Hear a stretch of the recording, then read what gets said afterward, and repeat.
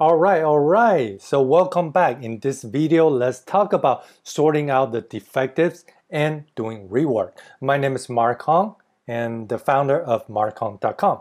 So this is a very important part of your inspection process, right? And it's perhaps the most overlooked part of the sourcing and manufacturing for most of small and mid-sized businesses, right?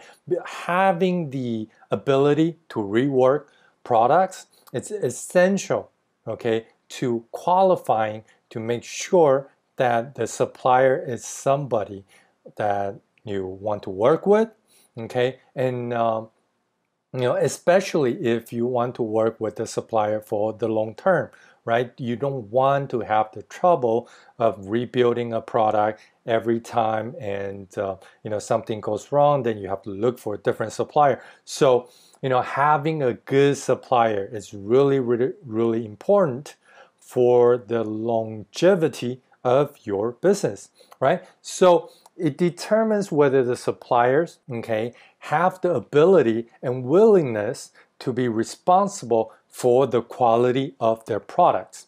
Okay, so if if it's a good supplier, they usually okay are capable of doing rework because they stand behind their quality. All right, hope that makes sense. Okay, so sorting out defectives.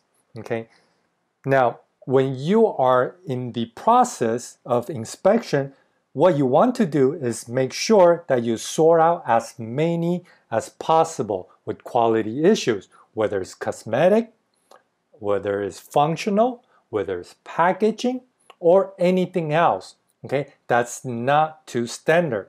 Okay, you want to make sure those get sorted out.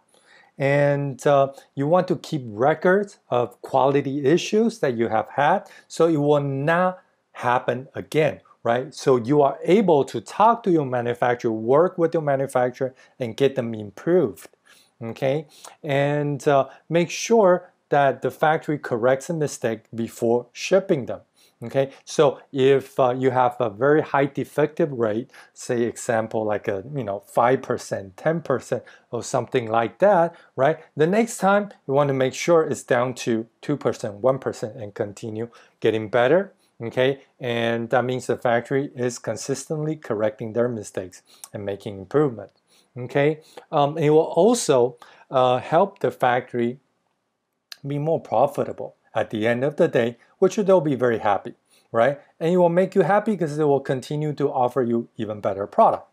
So make sure that they do that right? And uh, another uh, thing is you know don't get all scared you know if um, um, the first time you have a slightly higher defective rate um, because you can always use that as a negotiation chip okay and uh, you can negotiate with your supplier and um, um, you know have them give you a little bit additional incentive okay for going through the trouble okay so not not a bad thing at all as long as your factory is willing to be responsible Okay, so make sure uh, once they rework the product that they you will get the products re-inspected, right? To make sure that they have um, they have reworked your product to standards.